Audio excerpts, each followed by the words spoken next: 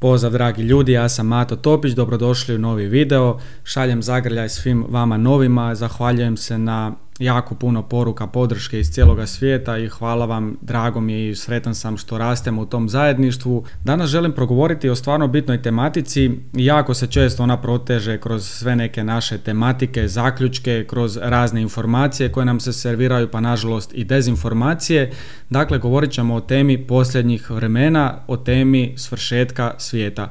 S time sam posebno nekako i potaknut da govorim s obzirom da sam danas dobio mail od jednog doktora on mi je napisao, poštovani gospodine Topiću, rado slušam e, vaše emisije na YouTube-u, sviđaju mi se vaše ideje i vaš način razmišljanja, pogotovo što vaša razmišljanja unosite i vjeru u Boga, pa vam se obraćam s jednom zamolbom i uglavnom sada da ne duljim, zamolio me da mu odgovorim na jedno pitanje, E, pitanje glasi ovako, što će biti odlučujući korak za sve ljude pred svršetak svijeta?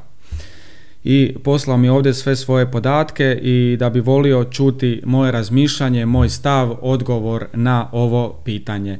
Dakle, za početak često se danas progovara o tom svršetku svijeta, često se progovara o posljednjim vremenima, na jedan način progovara se i sa opravdanim razlogom zato što svi, odnosno ne baš i svi, ali gotovo svi znakovi vremena koji su navedeni u knjizi otkrivenja, danas smo svjedoci da se puno toga događa to nije samo nešto što škaklja današnjeg čovjeka, to je škakljalo i onda još od Isusovih vremena. Sjetimo se kad Isus pričao o posljednjim vremenima, šta se sve ima zbiti, onda su oni rekli joj kad će to biti, daj nam reci sve želimo znati, onda je on njima rekao ne zna se ni dana ni časa, ali rekao im je jednu važnu stvar, e smatram da je ključ u toj rečenici gdje on kaže budni budite, bdite jer ne znate dana ni časa.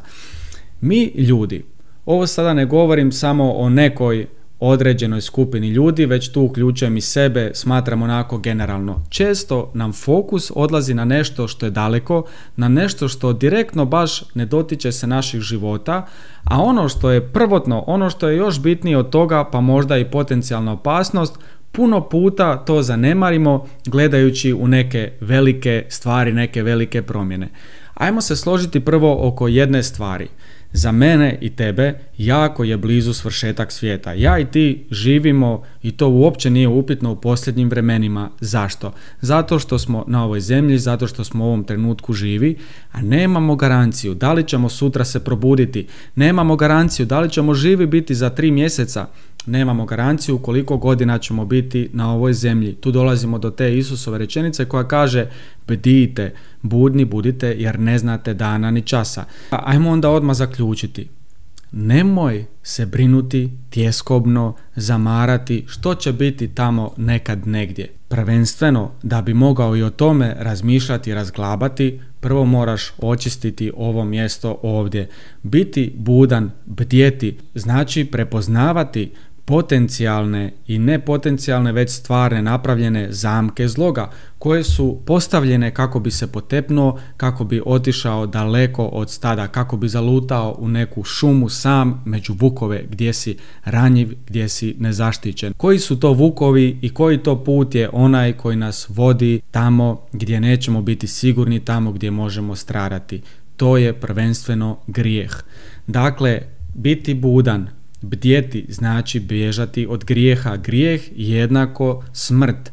Što znači grijeh? Direktno izravno vrijeđanje Boga, ali ne samo to. Ti sam sebe kažnjavaš pristajući na grijeh. Dakle, grijeh je rak rana koja te izjeda iznutra. Ne mora to biti samo na području bluda, ne mora to biti samo na području nekog ubojstva, krađe ili nečega puno dublje taj grijeh seže u naša srca i zato je važno da budemo budni, da primjećujemo ako naše srce je pod nekim utvrdama, da uvijek budemo pod dalekozorom, da primjećujemo tko je onaj i što je ono što nam se približava, što želi proći kroz te zidine, ući unutra i nanijeti nam ogromnu štetu. Dakle, bježati od grijeha, Truditi se svakim danom biti što bolji čovjek, truditi se svakim danom čistiti svoje srce, ma i kada padneš, ma i kada pogriješiš, da znaš samo koliko puta padnem svakodnevno i pogriješim, ali nije problem pasti.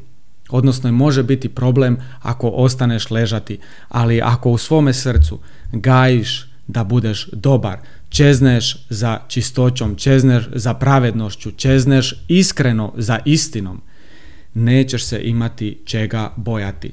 Ja želim sada, kada smo došli do zaključka što možemo učiniti u tim posljednjim vremenima, sad sam rekao, krepostan život, sakramentalan život, truditi se biti što bolji čovjek, biti drugome na pomoć, truditi se raditi na izgradnji onih vrlina, a na eliminiranju svih onih loših stvari, svih onih mana, svih onih grijeha, svih onih prljaština koje su se nadvile nad naše srce.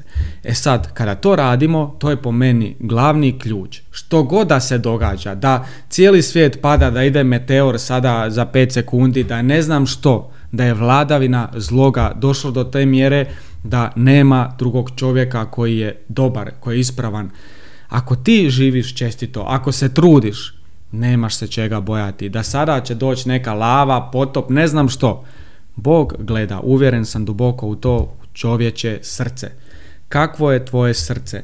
Ako je tvoje srce iskreno, ako tvoje srce traži istinu, ako u tvome srcu želiš da iznad svega prebiva dobrota, Bog, tada će to mjestu biti mjesta za drugoga i tada će u Božjem srcu biti mjesta za tebe, bez obzira na sve okolnosti koje nas mogu izvana snaći. To je po meni početak i kraj ušutkavanja svakog straha i svakog nemira šta će i kako će, da li će i da li sada već je i što će biti. Tu prekidamo svaku raspravu tjeskobe, zabrinutosti, zato što znamo da mi smo spremni. I onda kada nismo spremni, a nikad nismo, naravno zato što smo ljudi slabi, ali taj naš stav.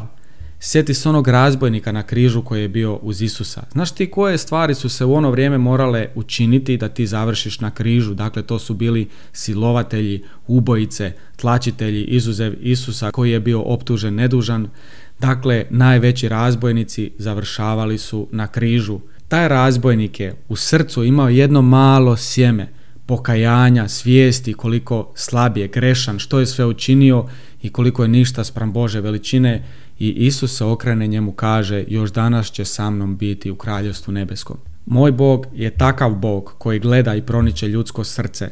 Ako moje srce je na mjestu, iako puno puta i palo i povrijeđeno i svakakvo, ali u nastojanju trčeći, tražeći, istinu tražeći dobro, želeći dobro, za mene će u Božem srcu uvijek biti mjesta. Posljednja vremena da li su ili nisu u tom smislu, ako ćemo gledati kroz knjigu otkrivenja, neki znakovi jesu, zlo dolazi do nekog nivoa gdje je stvarno onako nabijena atmosfera, osjetimo stvarno da puno stvari izmiče kontroli, ali ako ovo prvo je na mjestu ovoga drugoga se nemamo bojati. Na nama je da molimo, na nama je da i prepoznajemo znakove vremena, ali prvenstveno sve kreće iz naše nutrine, iz našeg stava iznutra. Ljubav prema crkvi, ljubav prema svećenicima, ljubav prema svakom bratu, svakoj sestri, svakom čovjeku i onom što je pokraj kontejnera i onom što je u najvećem grijehu u njemu i dalje vidjeti čovjeka, tako gledajući gledat ćemo onako kako Bog na čovjeka gleda. Bog ne gleda grijeh, Bog gleda čovjeka.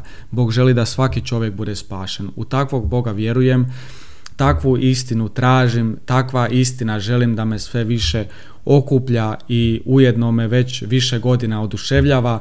Ratovi, bolesti, elementarne nepogode, pošasti, možda i kraljevstvo zloga na ovoj zemlji, do neke mjere već je i bit će sigurno još gore. Svašta nam se sigurno sprema, ali smatram da ako molimo i borimo se, nemamo se čega bojati. Ustrajan, krepostan život ne može biti pogriješiv i što god da je onda oko nas, mi se nemamo čega bojati.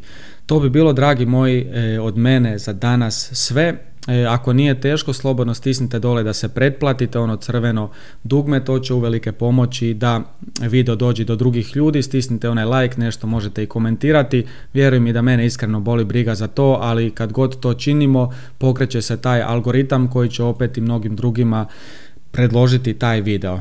Hvala vam puno na ogromnoj podršci, idemo dalje jako i vidimo se brzo u novom videu. Ajde, čao!